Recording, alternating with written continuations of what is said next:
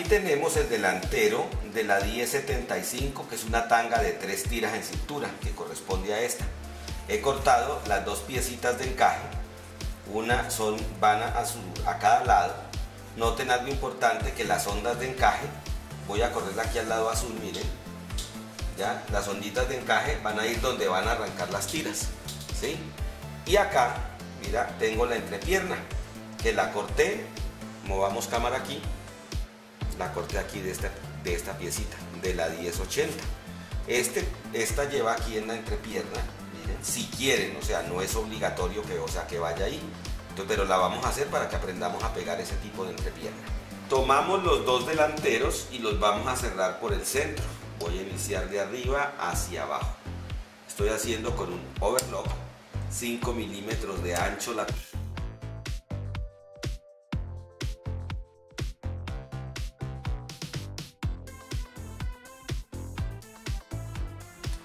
La costura que va por el centro del delantero la vamos a recostar hacia uno de los dos lados y con zigzag común en dos de largo y tres y medio de ancho vamos a, sentar hacia uno de los lados. Esta es opcional, o sea, si ustedes quieren asentarla, a mí me gusta para que la prenda quede mejor presentada, pero ustedes pueden dejarla suelta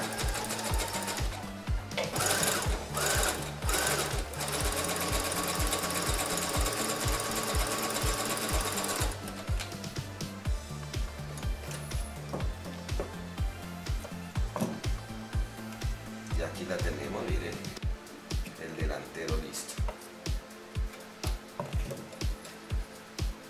Ahora vamos a colocar la entrepierna por el revés. Vamos al revés y colocamos la entrepierna aquí sobrepuesta.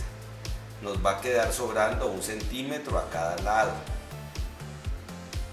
Esto es para evitar que se formen bolsas y voy a pasar una costura de ilpam, o sea, suelta que yo pueda quitar después de pegar el elástico. Una costura recta, larga y suelta.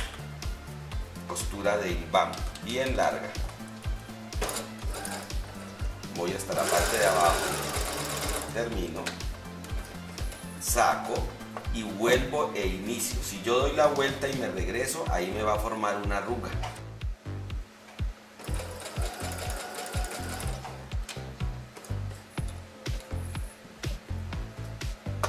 De haber pasado las dos costuras de IBAM, vamos a recortar el sobrante de tela.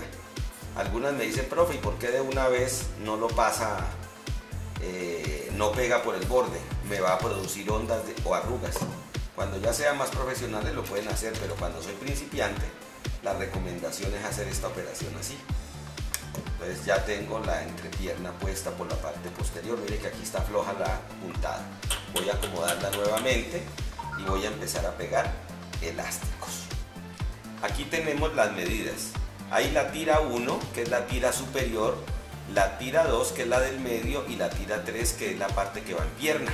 Y aquí está las medidas del el tiro que va hacia la nalga o entre nalgas. Voy a trabajarlo en talla M, dice que es 12 centímetros. Y voy a trabajarlo con, con la tira corta que es de 55. Entonces vamos a hacerlo de la siguiente forma. Vamos a iniciar en la entrepierna y nos vamos a ir por la pierna y vamos a dar la vuelta de la cintura y vamos a terminar en la otra pierna dejando una tira que va a ir entre las nalgas, que es el trasero. Vamos a cerrar el bies elástico aquí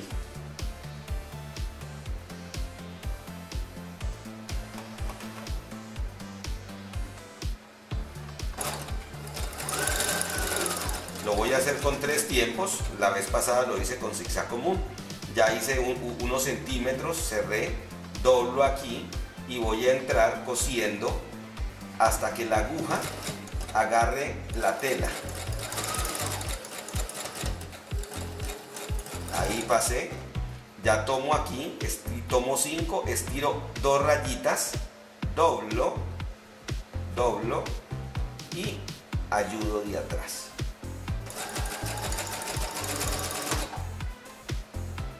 Doblo y ayudo de atrás. Estiro suavemente, doblo y ayudo de atrás. Suavemente, tomo 5, estiro dos rayitas, doblo, ayudo de atrás. Tomo 5, estiro dos rayitas, junto los 10 elásticos y ayudo de atrás. Cuando llegue allá, ya queda el 10 libre. Entonces aquí vamos a ver qué nos dice que la talla M, la, la pierna tiene 55 centímetros. Entonces vamos aquí a cerrar 55 centímetros.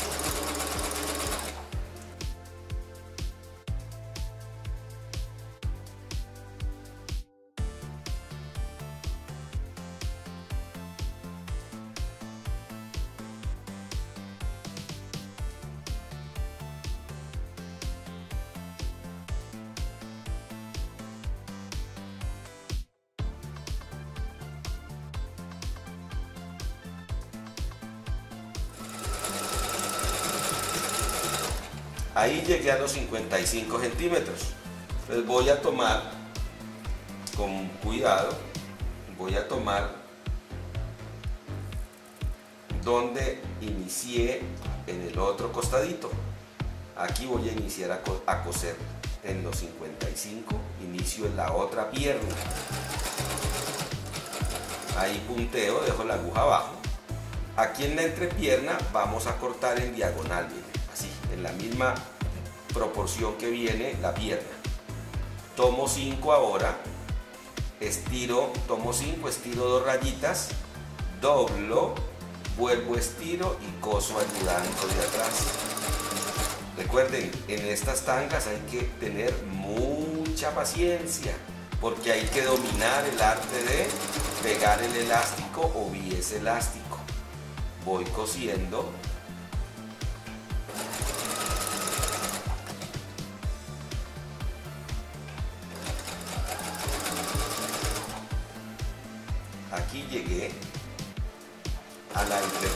Cuando llegue al otro elástico, debo parar, ojo a este truco, yo paro, dejo la aguja abajo, levanto para que los elásticos se relajen, acomodo, meto y cuando yo meta un elástico sobre otro elástico, ninguno de los dos se estira.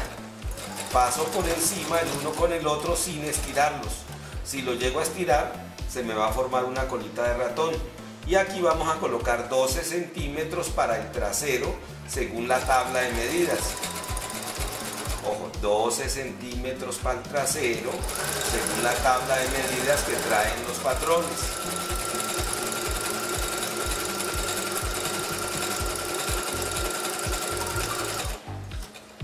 Vamos a ver, ya creo que hay 12.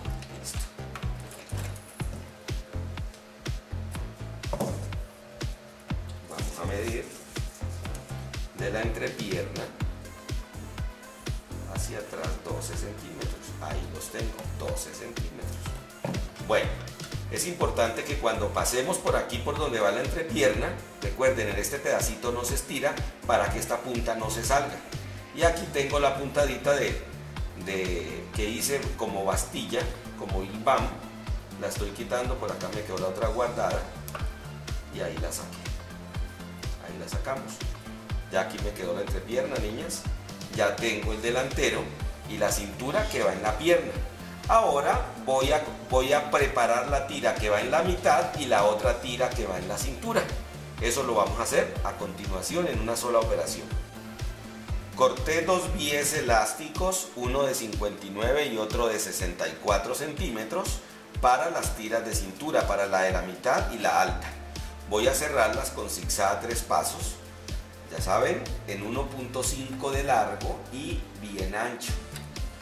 Voy a cerrar estas dos tiras, es una operación que vamos a hacerlo ligero. Vamos a acelerar un poco la cámara para que ustedes no se me aburran.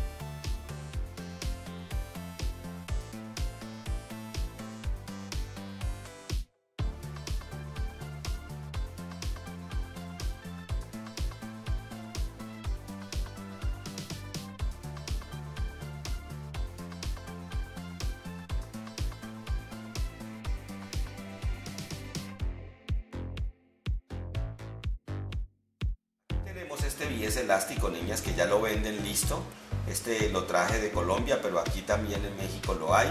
Es un elástico que es de 7 milímetros y no trae moras por ningún lado. Y me reemplaza este que yo hice, miren. Este se le ve la costura y este otro es muy liso, muy plano. Así que pueden reemplazarlo por esto si lo encuentran en el mercado. Vamos a quitarlo aquí. Este lo compré en Bogotá, ese lo compré en Bogotá en saldos de, en, perdón, en corsetero. Vamos a buscar, aquí tengo el largo, miren, tengo uno largo y uno corto. El corto va en la mitad y el largo va en la cintura, vamos a pegar el corto. Entonces voy a irme aquí a la cintura, vamos a quitar estos hilos que me sobran, buscamos la mitad, la mitad niñas, ahí, la mitad entre la punta y esta, yo puedo meter 3, 4 tiras si quiero. Y voy a pasar con zigzag a tres tiempos en cero y bien ancha un rematecito en ese bordecito de ahí. Por todo el orillo del encaje del borde de la mora. Vamos a pasar el zigzag. Primero lo pongo por un ladito luego levanto y me corro un poquito a la izquierda para que el zigzag abarque de lado a lado. Luego saco, me regreso medio centímetro y repito la operación. La aguja arriba, me voy a la izquierda y así hago que el bies elástico quede agarrado de dos bordecitos para que no se deshile al momento de lavar la prenda o cuando se lo pongan y tengan algún forcejeo que lo vayan a quitar a las manos se reviente por ahí. Pues yo prefiero pasarle una doble costurita una abajo y una un poco más arriba aquí vamos a cortar la puntita que sobró. Entonces una costura va por el bordecito y una un poquito más adentro. Pues ahora vamos a ir al otro extremo volteamos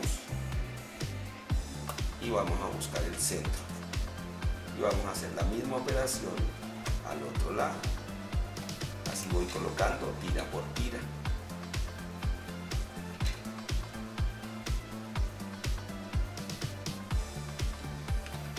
saben, mucha paciencia. Cuando yo estudié, a mí me obligaban a hacer cinco veces cada proceso, cada panty de estos. Y el quinto era el que me permitían vender o presentárselo al maestro.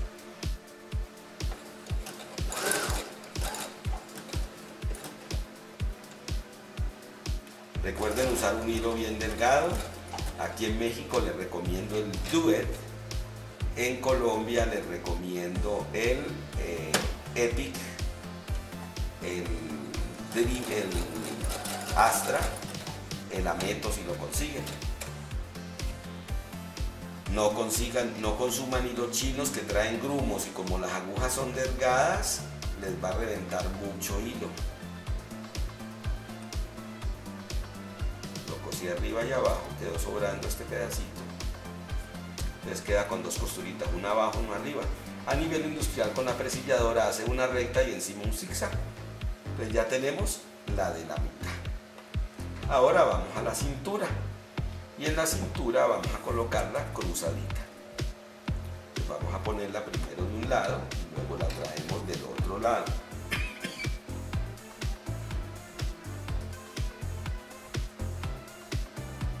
Vamos a colocarla aquí cruzadita.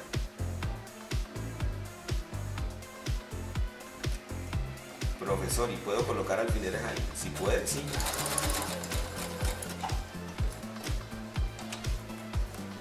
Aquí hice una sola costura, porque ahora la otra costura, el elástico va a dar la vuelta y se va a montar sobre el otro. Y volvemos a rematar uno encima del otro, entonces ya queda bien rematado. Y luego le colocamos el monito encima y queda más rematado todavía.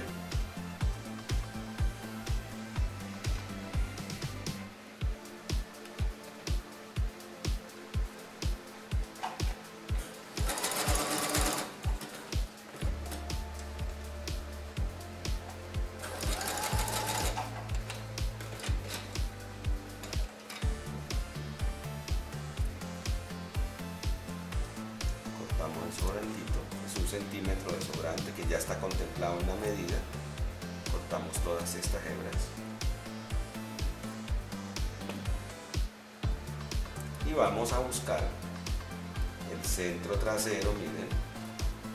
Aquí tengo el centro trasero. Vamos a buscar en el medio el centro trasero. Aquí lo tengo y en la pierna centro trasero. Ahí los tengo los tres. Están agarraditos. Y vamos a llevar la entrepierna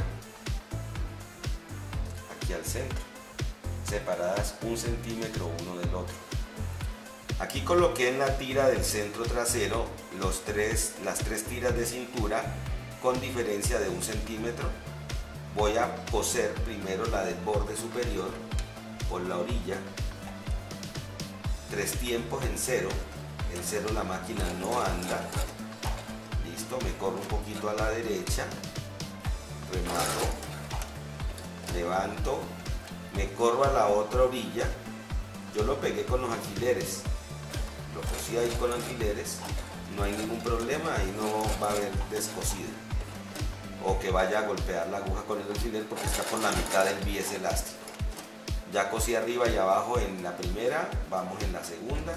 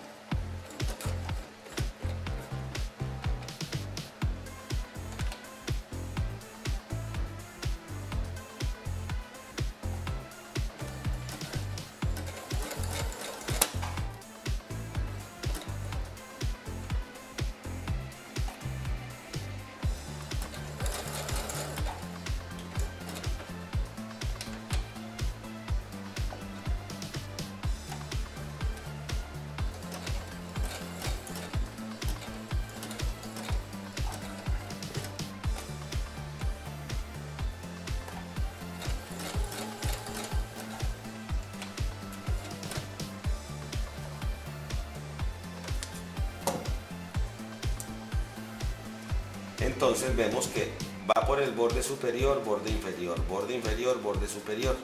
Luego cortamos todos estos hilos. Vamos ahora a colocar el moñito en la parte delantera y a colocarlo en el maniquí a ver cómo nos va. En la parte eh, superior, en la punta central, vamos a colocar un lacito como adorno en tres tiempos, en cero y tres de ancho colocamos ahí, tomamos las hebras, vamos suave, esto es grueso, nos podemos partir la aguja y hacemos el remate central. Vamos a correr la máquina un poco atrás y vamos a presentarlo. En el maniquí se nos va a ver más lindo, ¿no? Porque aquí son puras tiras cruzadas. Vamos a ver la tira de arriba, la tira del medio, la tira de abajo. Yo me imagino cómo será cuando se lo pongan. Va a ser un desorden completo. O también podemos juntarlas aquí en una sola costura en el costado. Pues niñas, vamos a verlo en el maniquí ahora.